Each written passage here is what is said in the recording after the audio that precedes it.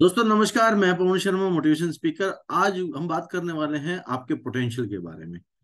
आपके अंदर कुछ ना कुछ तो पोटेंशियल होगा। उस पोटेंशियल को पहचानिए, हुनर को पहचानिए। अगर आप अपने हुनर के साथ काम करेंगे तो जीवन आपके जीवन में आप सफल होंगे। आपने देखा होगा, जो लोग सफल होते हैं, वो अपने हुनर को पहचानते हैं।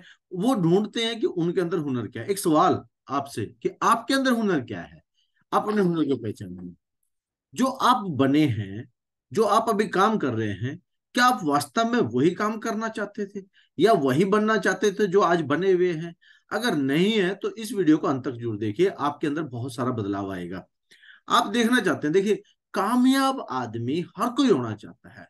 हर कोई आदमी कामयाब होना चाहता है, हर कोई आदमी सफलता हो, सफल होना चाहता है, लेकिन उन्हें कामयाबी की परिभाषा नहीं पता। कामयाब आदमी होने के लिए अपने हुनर को पहचानना, उसको धार देना ज़रूरी है। उसको, मैं एक उदाहरण दूँ तो आपको, आप समझिए। एक बार एक व्यक्ति क्या कर रहा था कि कुल्हाड़ी को धार दे रहा था, धार दे रहा था, धार दे रहा था। सौ पेड़ काटने थे और दूसरा व्यक्ति आते ही पेड़ काटने पे लग गया। तो किसी ने पूछा, अरे, तू पेड़ क्यों काट रहा है? तू तो हार जाएगा, वो पहले काट रहा है। बोला, चिंता मत करो, करने दो। वो धार देता रहा देता रहा, इतनी तिक्की कर दी थी उसने, टच करते ही पेड़ कटने शुरू हो गए। तो आप भी अपने, और देखेंगे लास्ट में सबसे ज़्यादा वही जीता जिसने अपने कुल्हाड़ी को धार दी है। कामयाब आदमी अपने हुनर को धार देते हैं, पहचानते हैं, अपने काम को पहचानते हैं विजुअलाइजेशन करते हैं विजनर बनते हैं। हम एम एस धोनी की लीडरशिप के बारे में बात करते हैं। एम एस धोनी कौन है?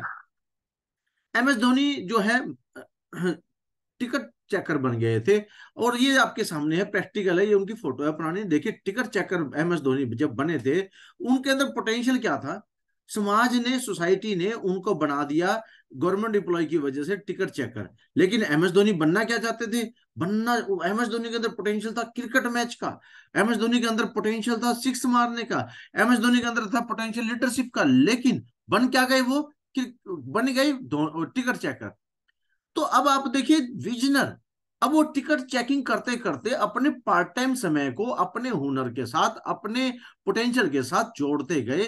धीरे धीरे अपने आप को उन्होंने डेवलपमेंट किया और साथ के साथ अपने सपने को, अपने हुनर को नहीं छोड़ा ड्रीम को नहीं छोड़ा, अपने काम को नहीं छोड़ा, काम के साथ साथ उन्होंने अपने सपने को पकड़ा रखा और इसी वजह से एम एस धोनी जो है, सात जुलाई उन्नीस सौ इक्यासी में हुए और कैप्टन है विकेट कीपर भी रहे हैं। एम एस धोनी जो है रांची में पैदा हुए, झारखंड के अंदर, और आप देखेंगे कितना पुराना फ़ोटो है, और आप देखिए, जब उन्होंने अपना सपना, अपने ड्रीम को पकड़ा, ड्रीम के साथ साथ एम एस धोनी की लीडरशिप देखिए किस प्रकार से एम एस धोनी अपने लीडरशिप के साथ समझते हैं। विजुअलाइजेशन देखिए विजनर है, उनको पता था कि भी ये रास्ता जो है सफलता की ओर लेके जाएगा, और आज देखिए एम एस धोनी पूरे वर्ल्ड के अंदर फ़ेमस है। एक एक बच्चा एम एस धोनी को जानता है। जीवन आए तो इस प्रकार से सफलता ज़रूर होनी चाहिए। जीवन में इस प्रकार की सफलता ही आपको आगे लेके चलती है। क्या वाकई में आप भी ऐसा सफल होना चाहते हैं? तो अपने हुनर को पहचानिए। फाइंड योर पोटेंशियल आपका पोटेंशियल क्या है?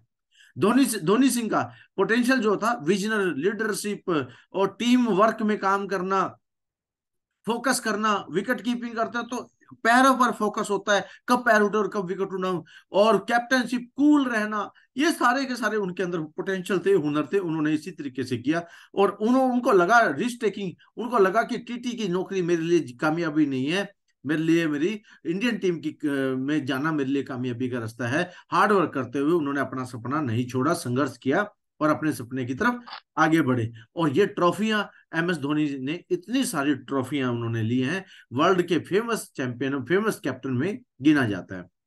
अब महेंद्र सिंह धोनी 15 अगस्त 2020 को रिटायर हो जाते हैं। उन्नीस उन्नीस का मतलब होता है यहाँ पे टाइम दे रखे सात बजकर उनतीस मिनट 15 अगस्त 2020 को वो अपनी रिटायरमेंट की घोषणा करते हैं। और जब सूर्य अस्त हो रहा होता है अब रिटायर हो गई। तो धोनी की जी की अर्निंग जो है गूगल पे सर्च करते हैं तो वहाँ देखते हैं, चार से छह करोड़ रुपया पर डे की अर्निंग है। महेंद्र सिंह धोनी की पर डे की अर्निंग चार से छह करोड़ रुपया डेली की अर्निंग है रिटायरमेंट के बाद। तो आप अंदाज़ा लगाइए, अगर आप सोचते हैं, अगर धोनी अपने हुनर के साथ काम ना करते तो वो दो उनतालीस में रिटायर होते और उन्हें मिलते क्या? कुछ लाख रुपया। क्या उनकी पहचान होती? नहीं होती। क्या होते हैं वो? एक अच्छी नौकरी कर करके वो एक अच्छे घर में, छोटे से घर में बसते, उनके बच्चे जो होते वेल सेटल ना होते तो आप सोचिए, सर, ये एक बेहतर अपॉर्चुनिटी है आपके लिए। अगर आप ज़िंदगी में कामयाब होना चाहते हैं तो एम एस धोनी की तरह आपको भी ज़िंदगी में अपने आप को कामयाब करना है और अपने सपने को, अपने